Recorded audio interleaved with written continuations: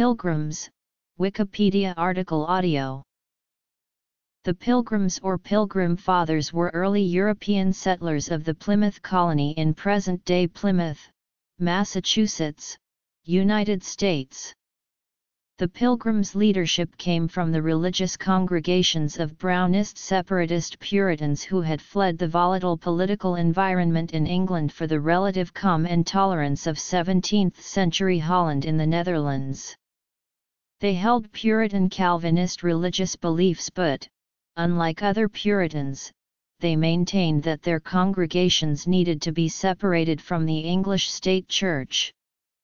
They were also concerned that they might lose their English cultural identity if they remained in the Netherlands, so they arranged with English investors to establish a new colony in North America. The colony was established in 1620 and became the second successful English settlement in North America. The Pilgrim's story became a central theme of the history and culture of the United States. History The core of the group that came to be known as the Pilgrims were brought together between 1586 and 1605 by shared theological beliefs, as expressed by Richard Clifton, a Brownist parson at All Saints Parish Church in Babworth, near East Retford, Nottinghamshire. This congregation held Puritan beliefs comparable to other nonconforming movements led by Robert Browne, John Greenwood, and Henry Barrow. As separatists, they also held that their differences with the Church of England were irreconcilable and that their worship should be independent of the trappings, traditions, and organization of a central church unlike those Puritans who maintained their membership in an allegiance to the Church of England. William Brewster was a former diplomatic assistant to the Netherlands. He was living in the Scrooby Manor House while serving as postmaster for the village and bailiff to the Archbishop of York. He had been impressed by Clifton's services and had begun participating in services led by John Smyth in Gainsborough, Lincolnshire. Separatists in Scrooby the Puritan separatists had long been controversial.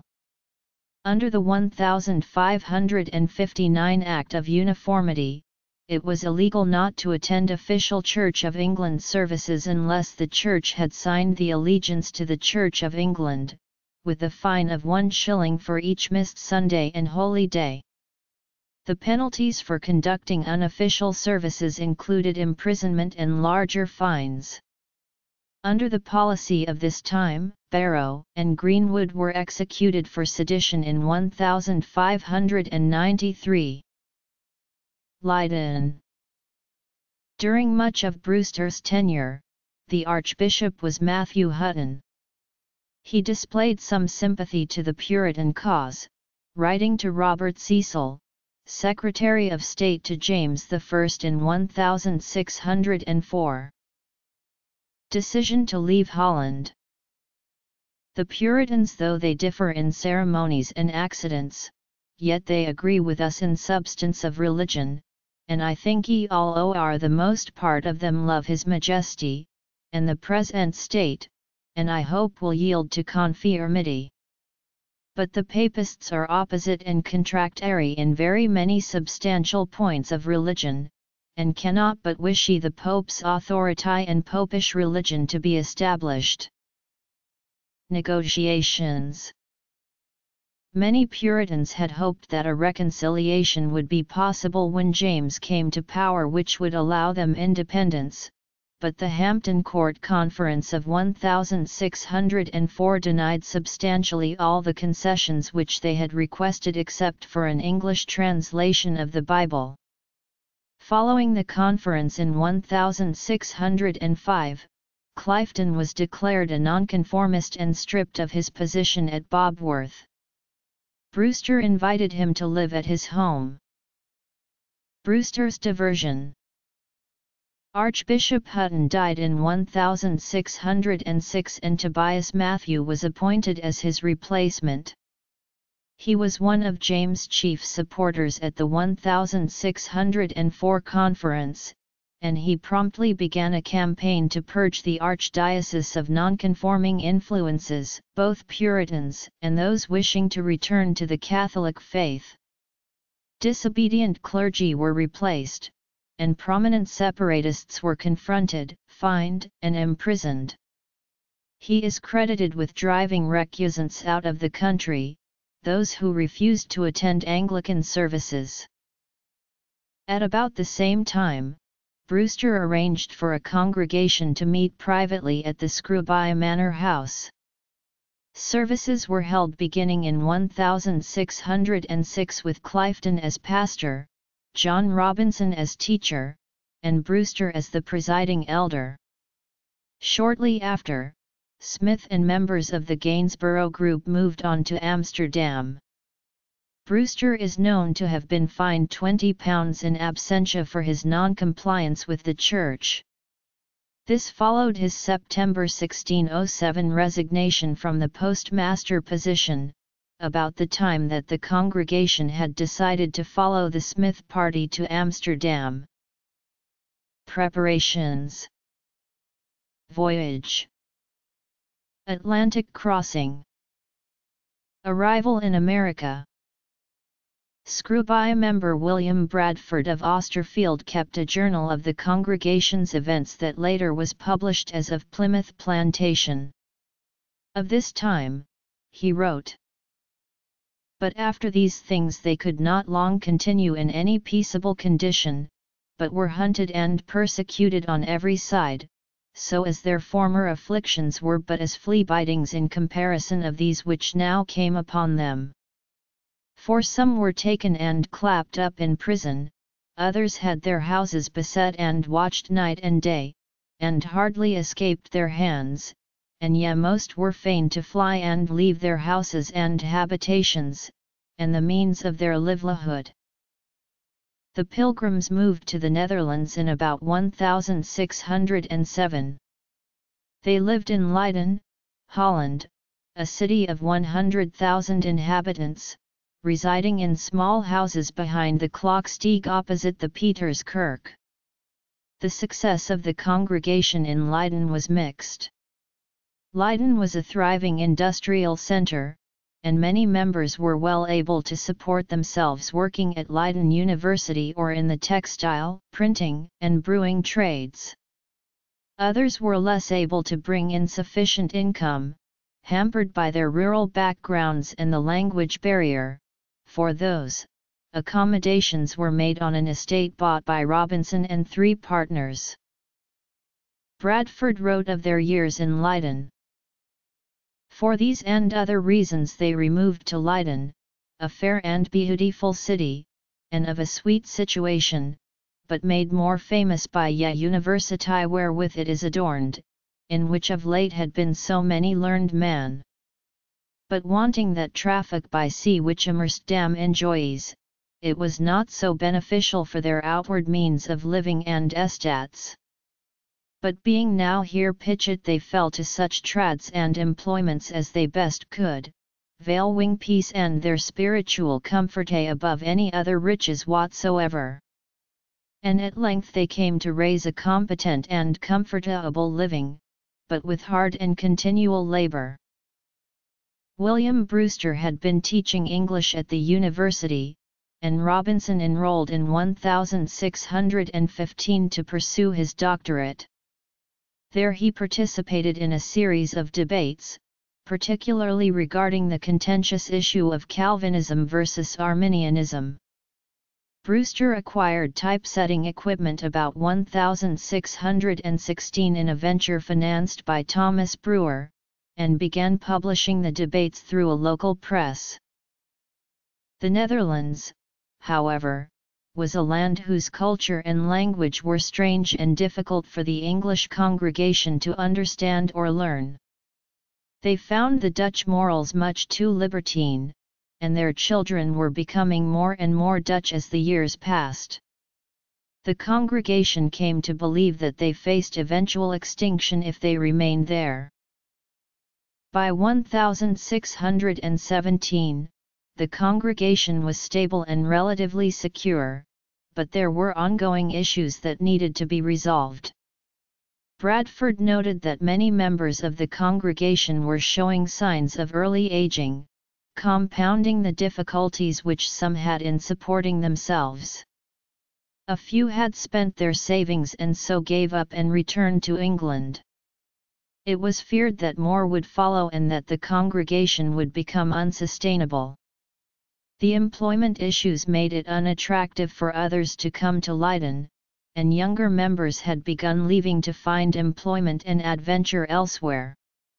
Also compelling was the possibility of missionary work, an opportunity that rarely arose in a Protestant stronghold.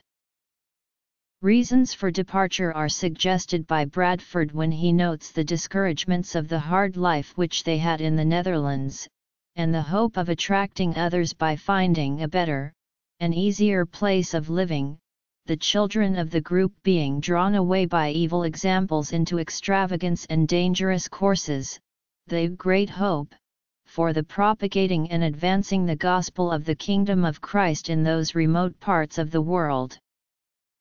Edward Winslow's list was similar. In addition to the economic worries and missionary possibilities, he stressed that it was important for the people to retain their English identity, culture, and language. They also believed that the English Church in Leiden could do little to benefit the larger community there. At the same time, there were many uncertainties about moving to such a place as America. Stories had come back from there about failed colonies. There were fears that the native people would be violent, that there would be no source of food or water, that exposure to unknown diseases was possible, and that travel by sea was always hazardous. Balancing all this was a local political situation that was in danger of becoming unstable. The truce was faltering in what came to be known as the Eighty Years' War, and there was fear over what the attitudes of Spain might be toward them. Candidate destinations included Guyana, where the Dutch had already established Essequibo, or somewhere near the existing Virginia settlements. Virginia was an attractive destination because the presence of the older colony might offer better security and trade opportunities. It was thought, however, that they should not settle too near, since that might too closely duplicate the political environment back in England. The London Company administered a territory of considerable size in the region. The intended settlement location was at the mouth of the Hudson River. This made it possible to settle at a distance which allayed concerns of social, political, and religious conflicts, but still provided the military and economic benefits of relative closeness to an established colony. Robert Cushman and John Carver were sent to England to solicit a land patent. Their negotiations were delayed because of conflicts internal to the London Company, but ultimately a patent was secured in the name of John Wincob on June 9-June 19, 1619.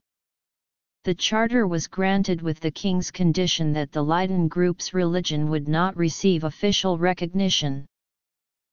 Preparations stalled because of the continued problems within the London Company. Competing Dutch companies approached the congregation and discussed with them the possibility of settling in the Hudson River area. David Bekeland suggests that the Leiden group was approached by Englishman Matthew Slade, son-in-law of Petrus Plancius, a cartographer for the Dutch East India Company. Slade was also a spy for the English ambassador. The Puritans' plans were therefore known both at court and among influential investors in the Virginia Company's colony at Jamestown. Negotiations were broken off with the Dutch at the encouragement of English merchant Thomas Weston, who assured them that he could resolve the London Company delays. The London Company intended to claim the area explored by Hudson before the Dutch could become fully established.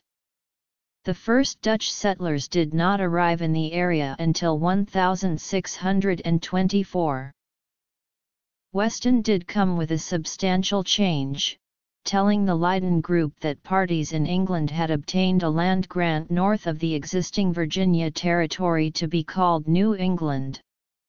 This was only partially true, the new grant did come to pass, but not until late in 1620 when the Plymouth Council for New England received its charter. It was expected that this area could be fished profitably, and it was not under the control of the existing Virginia government. A second change was known only to parties in England who chose not to inform the larger group.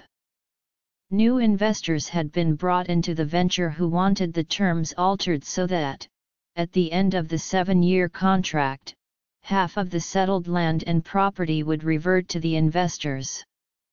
Also, there had been a provision which allowed each settler to have two days per week to work on personal business, but this provision had been dropped from the agreement without the knowledge of the Puritans. Amid these negotiations, William Brewster found himself involved with religious unrest emerging in Scotland. In 1618, King James had promulgated the Five Articles of Perth which were seen in Scotland as an attempt to encroach on their Presbyterian tradition. Pamphlets critical of this law were published by Brewster and smuggled into Scotland by April 1619. These pamphlets were traced back to Leiden, and a failed attempt to apprehend Brewster was made in July when his presence in England became known. Also in July in Leiden, English ambassador Dudley Carleton became aware of the situation and began leaning on the Dutch government to extradite Brewster. An arrest was made in September, but only Thomas Brewer the financier was in custody. Brewster's whereabouts remain unknown between then and the colonists' departure. Brewster's type was seized.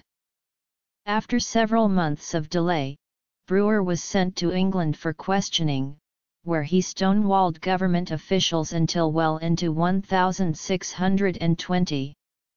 One resulting concession that England did obtain from the Netherlands was a restriction on the press, making such publications illegal to produce. Thomas Brewer was ultimately convicted in England for his continued religious publication activities and sentenced in 1626 to a 14-year prison term. Not all of the congregation were able to depart on the first trip. Many members were not able to settle their affairs within the time constraints, and the budget was limited for travel and supplies. It was decided that the initial settlement should be undertaken primarily by younger and stronger members. The remainder agreed to follow if and when they could. Robinson would remain in Leiden with the larger portion of the congregation, and Brewster was to lead the American congregation. The church in America would be run independently, but it was agreed that membership would automatically be granted in either congregation to members who moved between the continents. With personal and business matters agreed upon, supplies and a small ship were procured. Speedwell was to bring some passengers from the Netherlands to England, then on to America where it would be kept for the fishing business, with the crew hired for support services during the first year. The larger ship Mayflower was leased for transport and exploration services. The Mayflower Compact The Speedwell was originally named Swiftsure.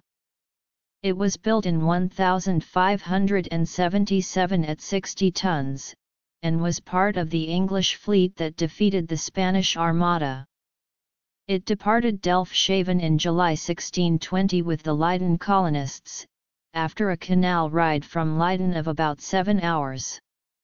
It reached Southampton, Hampshire, and met with the Mayflower and the additional colonists hired by the investors. With final arrangements made, the two vessels set out on August 5-August 15. Soon thereafter, the Speedwell crew reported that their ship was taking in water, so both were diverted to Dartmouth, Devon.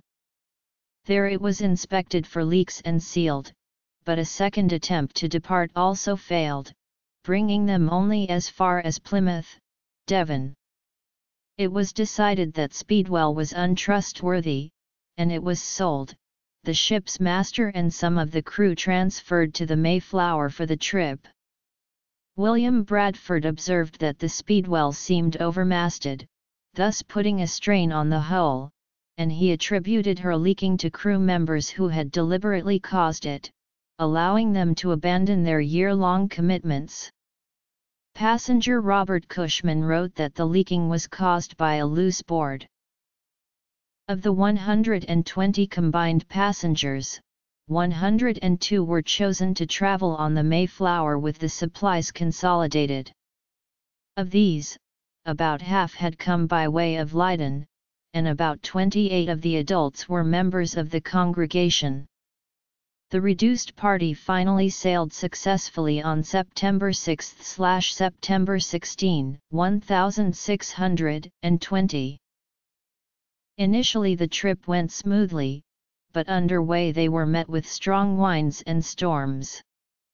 One of these caused a main beam to crack, and the possibility was considered of turning back, even though they were more than halfway to their destination. However, they repaired the ship sufficiently to continue using a great iron screw brought along by the colonists. Passenger John Howland was washed overboard in the storm but caught a topsail halyard trailing in the water and was pulled back on board. One crew member and one passenger died before they reached land. A child was born at sea and named Oceanus. Land was sighted on November 9, 1620. The passengers had endured miserable conditions for about 65 days, and they were led by William Brewster in Psalm 100 as a prayer of thanksgiving. It was confirmed that the area was Cape Cod within the New England territory recommended by Weston. An attempt was made to sail the ship around the Cape towards the Hudson River, also within the New England Grant area, but they encountered shoals and difficult currents around Cape Malabar. They decided to turn around, and the ship was anchored in Provincetown Harbour by November 11-12. The charter was incomplete for the Plymouth Council for New England when the colonists departed England.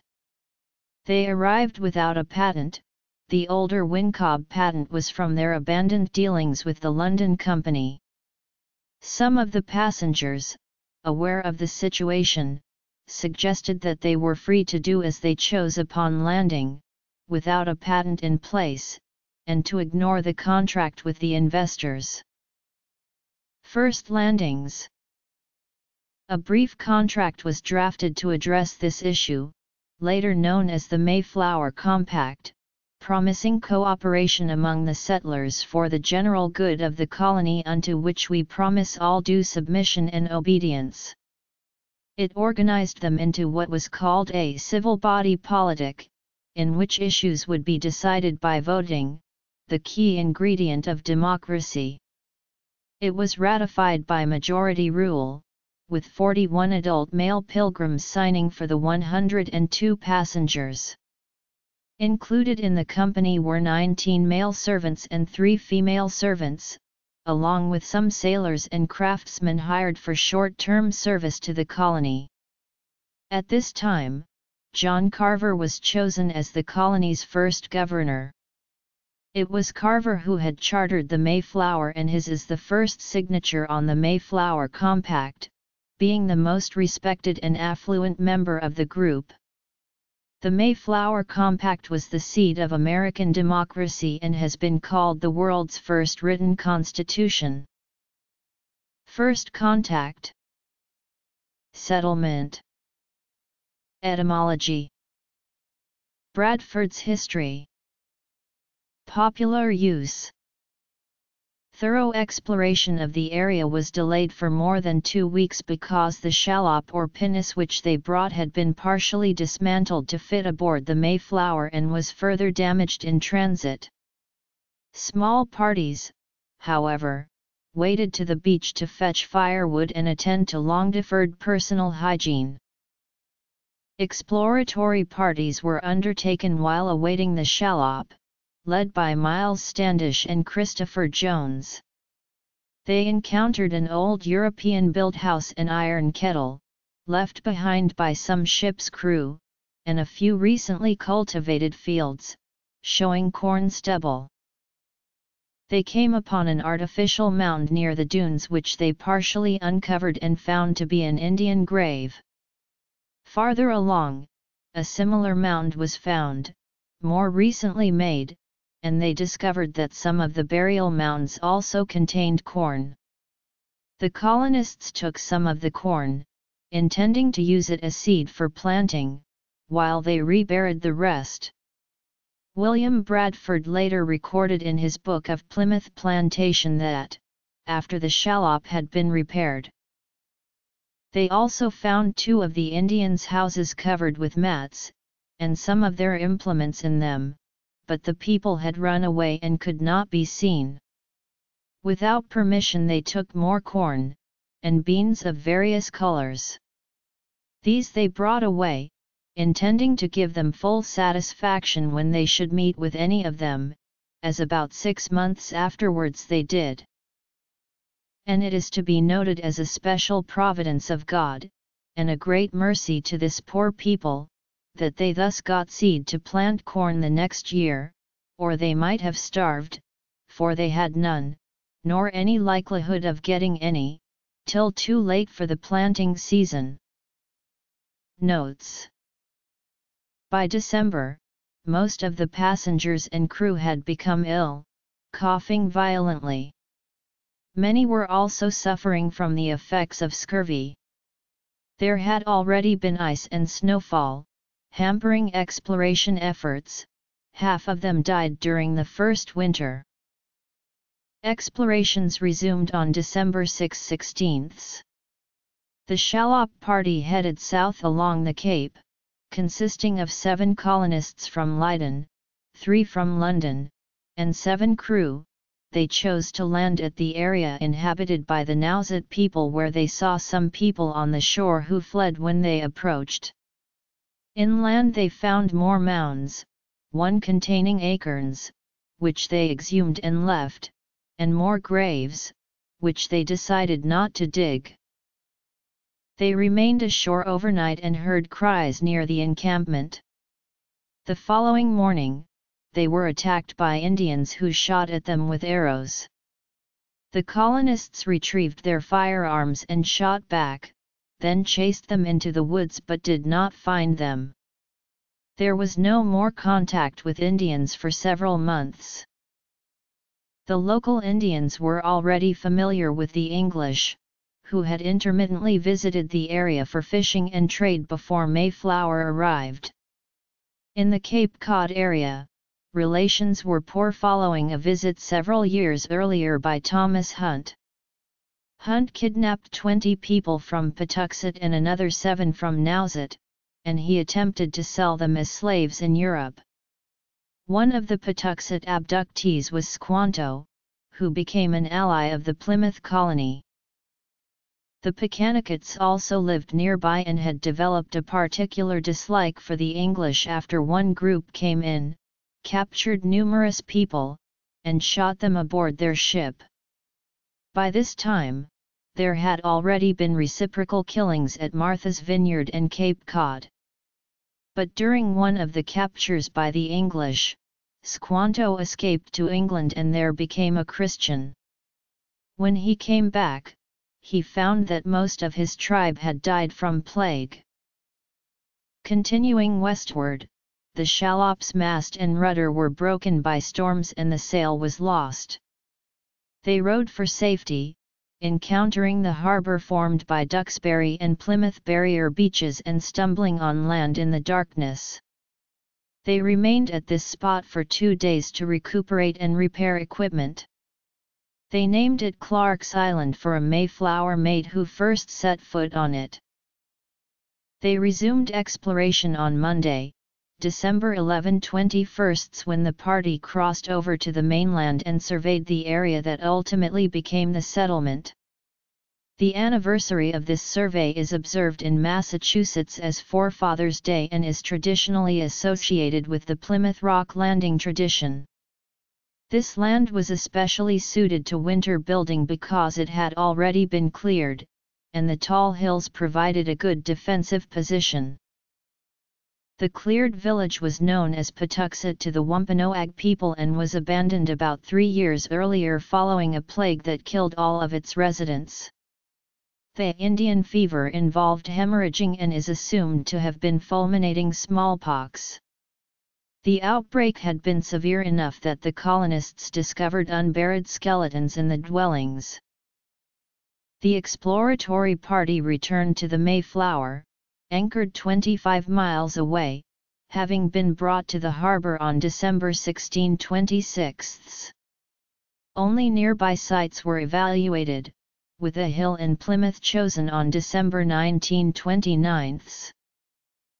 Construction commenced immediately, with the first common house nearly completed by January 9 19, 20 feet square, and built for general use. At this point, each single man was ordered to join himself to one of the 19 families in order to eliminate the need to build any more houses than absolutely necessary. Each extended family was assigned a plot one half rod wide and three rods long for each household member, then each family built its own dwelling. Supplies were brought ashore, and the settlement was mostly complete by early February. When the first house was finished, it immediately became a hospital for the ill pilgrims. 31 of the company were dead by the end of February, with death still rising. Coles Hill became the first cemetery, on a prominence above the beach, and the graves were allowed to overgrow with grass for fear that the Indians would discover how weakened the settlement had actually become. Between the landing and March, only 47 colonists had survived the diseases that they contracted on the ship. During the worst of the sickness, only six or seven of the group were able to feed and care for the rest. In this time, half the Mayflower crew also died. William Bradford became governor in 1621 upon the death of John Carver. On March 22, 1621, the Pilgrims of Plymouth Colony signed a peace treaty with Massasoit of the Wampanoags.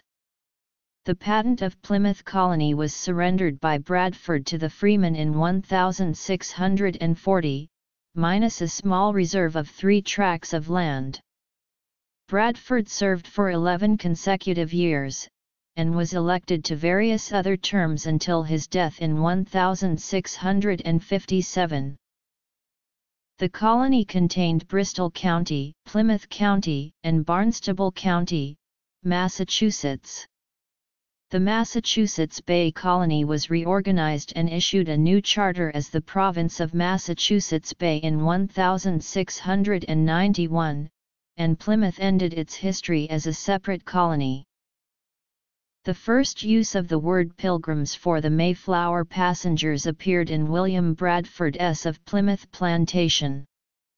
As he finished recounting his group's July 1620 departure from Leyden, he used the imagery of Hebrews 11 13 16 about Old Testament strangers and pilgrims who had the opportunity to return to their old country but instead longed for a better, heavenly country. So they left goodly and Pleasant city, which had been their resting place, near twelve years, but they knew they were pilgrims, and looked not much on these things, but lift up their eyes to ye heavens, their dearest country, and quieted their spirits.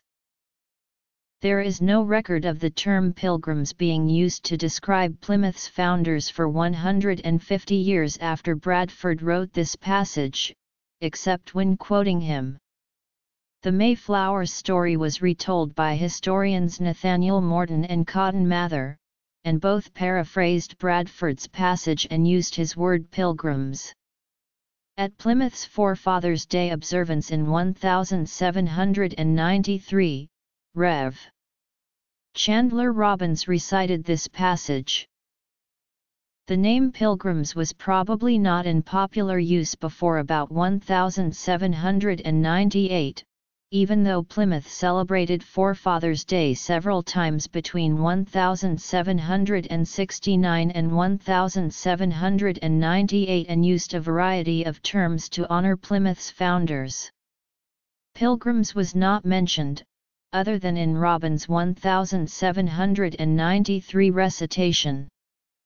The first documented use that was not simply quoting Bradford was at a December 22, 1798 celebration of Forefathers' Day in Boston. A song composed for the occasion used the word pilgrims, and the participants drank a toast to the Pilgrims of Leyden. The term was used prominently during Plymouth's next Forefathers' Day celebration in 1800, and was used in Forefathers' Day observances thereafter. By the 1820s, the term pilgrims was becoming more common. Daniel Webster repeatedly referred to the pilgrims in his December 22, 1820 address for Plymouth's bicentennial, which was widely read. Harriet Vaughan Cheney used it in her 1824 novel A Peep at the Pilgrims in 1636, and the term also gained popularity with the 1825 publication of Felicia Hemans's classic poem The Landing of the Pilgrim Fathers.